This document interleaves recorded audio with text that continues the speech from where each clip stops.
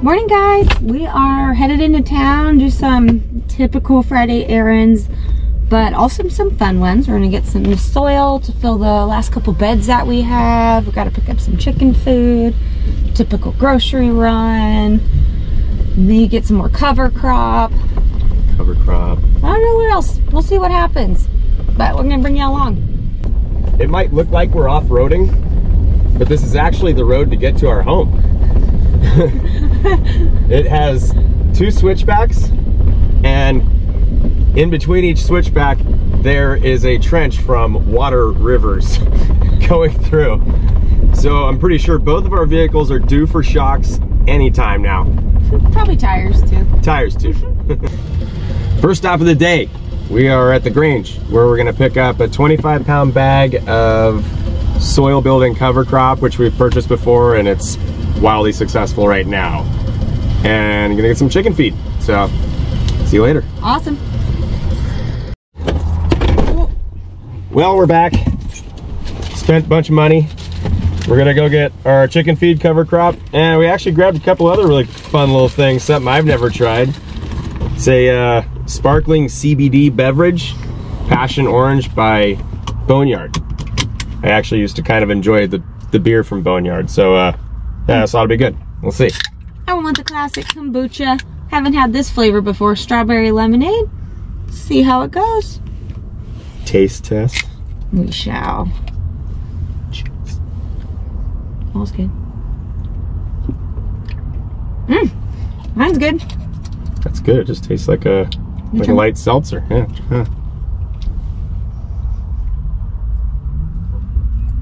Mmm. That's nice. Nice. It's mellow. Yeah, I know. I thought it was going to be more tart than it was. I'm glad it's not. kombuchas are like, wow. Good flavor for sure.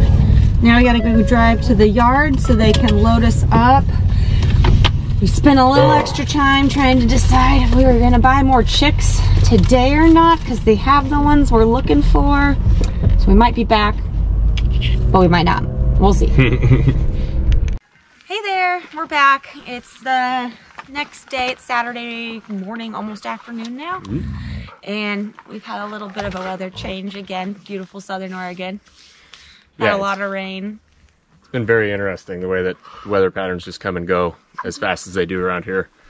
Anyways, we just this morning are working on finishing our second set of beds in the greenhouse, filling one of them, and we're, hope we're hoping to have enough soil to fill it, and then also planting our last starts that we have. Yes. Yeah. So we're going to kind of take you through our little process of uh, how we're filling this bed and how we're getting it ready for our winter veg in it. Um, so you'll see it's going to be kind of like a lasagna layering. At the beginning, you'll see us throw some hugelkultur um, pieces of old wood that we have that have been lying around the property, and then so on and so forth. Everything else that we have on the property to add to it. So yeah. Yeah. Hoping to have enough. Hope you enjoy. Hades.